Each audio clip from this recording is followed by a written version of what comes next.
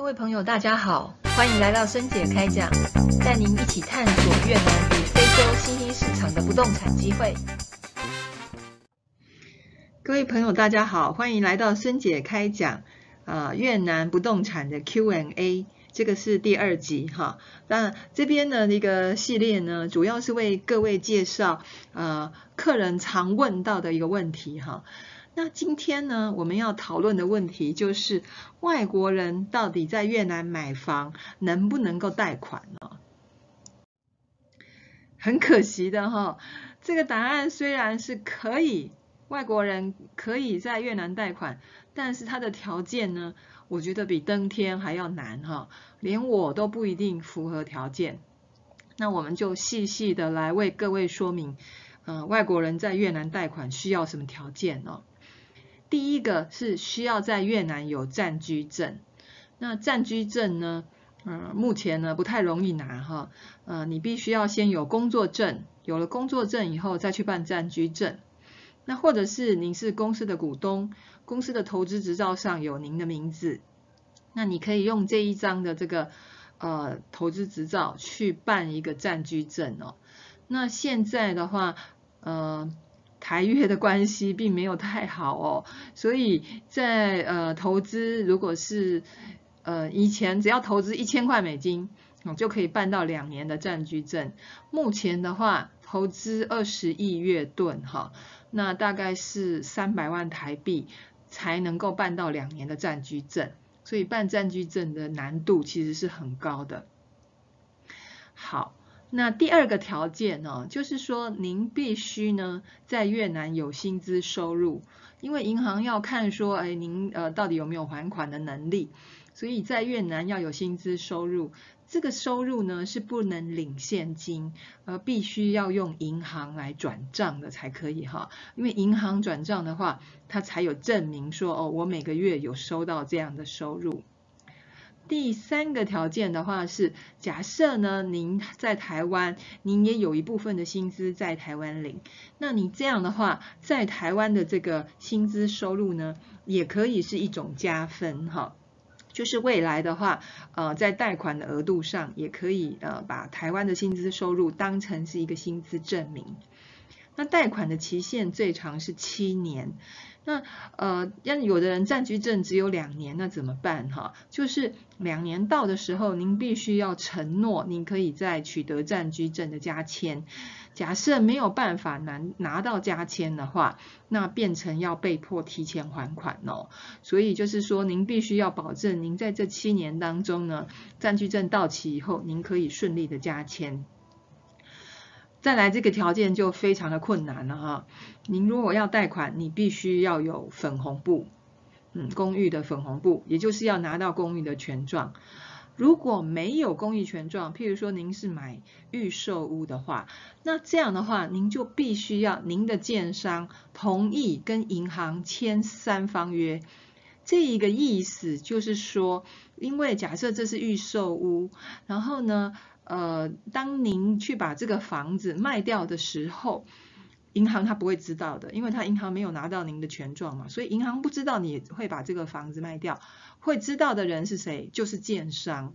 好，建商在预售的阶段呢。他都会做一个管控，所以必须要建商同意。当你把房子卖掉的时候，他会通知银行，所以这样银行的债权才能够确保哈，不会被买，不会被这个贷款人偷偷的把财产卖掉。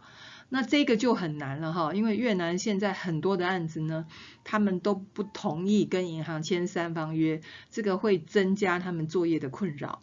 所以这一条呢，也是一个目前最大的障碍。哈，贷款利率呢是七到十二个 percent。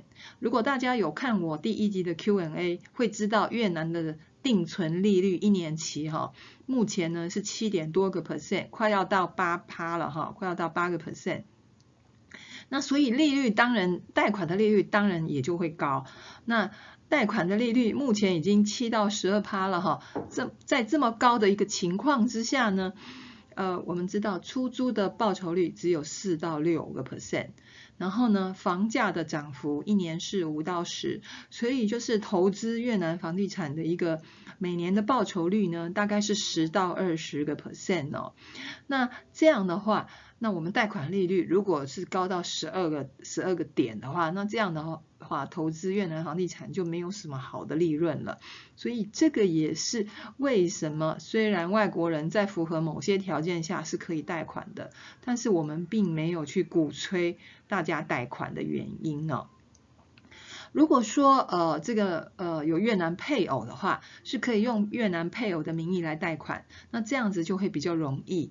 可是呢，一样贷款利率是非常高，高更更高哈。那有些的情况之下，假设您跟银行的关系很好，是可以例外处理去贷到款项的。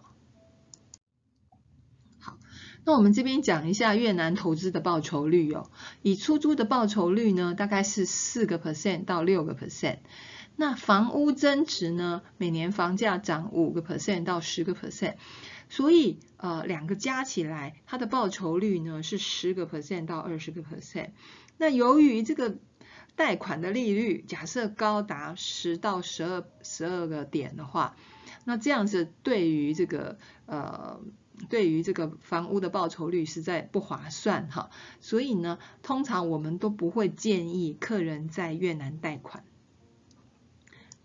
那不能贷款要怎么办呢？所以我们通常会用的方式就是第一个会买预售屋。好，为什么？因为预售屋呢，它其实是分期缴款的。通常呢，盖一盖一间公寓大概要两年到三年左右的时间。那在交屋之前，只要缴五十个 percent 到七十个 percent，所以就是说，呃，我们会买预售屋来将杠杆最大化。譬如说，我手边有十万美金的现金，然后呢，我每年呢，我可以存款五万美金。好，这样的话，所以我们的操作方式就会，第一次的话，我就是先呃分期付款。好，买预售屋，因为你假设一次付款，可能你就只能买十万美金的呃这个公寓一套。好，但是呢，我们的做法是会透过预售屋慢慢缴款，所以我会买两间的预售屋，然后我分三年缴款。那第一，那第每一间是十万美金。所以三年的话就可以支付二十万美金，所以就是说透过预售屋慢慢缴款的方式，让我可以买到的房屋的间数是最大化。所以通常呢，我们都建议客人不要一次付款，而且一次付款呢会有一些风险呢，因为通常建商是盖到哪里我们就付到哪里，哈，盖到第三层我们就付到第三层，盖到第十层我就付到第十层。那曾经有一个客户哦。他就是呃买买房子的时候，他一次缴了呃全部的款项预售屋。那后来呢，呃他想把房子卖掉，可是呢跟他接手的买家就变成是一次也要把房子的总价要支付完哈。才有办法去呃去买这个房子哈，那因为越南不能贷款哈，所以一次要支付完总价的话，其实这个所需要的现金算是蛮高的。所以假设你一次付光的话，未来在转售上哈，其实付款条件会很吃亏。所以我们通常都建议客人不要一次把房子的钱付光哦。好，那另外一个呃运用杠杆的方式，就是说我们从国外贷款。好，因为像呃，譬如说以台湾的利率来讲，大概一个 percent 到两个 percent 而已哦。那呃，中国的贷款利率也是相对而言是比比越南要低很多。好，那更何况像日本啊、新加坡哈，有一些贷款是很低的。所以我们通常会从国外贷款，只是国外贷款呢，不能用越南的房地产抵押，它只能用呃国外的贷款来国外的房地产来做抵押。呃，譬如说像台湾。在台湾的话，我们就拿台湾的房子来做房贷，哈，利率两个 percent。那我如果是说用信用贷款，好，利率四个 percent；用保单贷款，利率可能是四到四点五个 percent。那我在日本或新加坡贷款的话，可能我的利率也是只有两个 percent 左右哦。所以我们就是透过呃由国外取得便宜的资金，然后在越南买预售屋的方式啊，来克服这个不能贷款的一个问题呀。想要掌握新兴市场房地产的最新讯息吗？请在这里直接订阅孙姐开讲的频道，或者关注我们的微信公众号“汉威不动产”。另外一个方式就是加入 Line at 生活圈。祝大家投资顺利赚大钱，也记得帮我们按一个赞哦！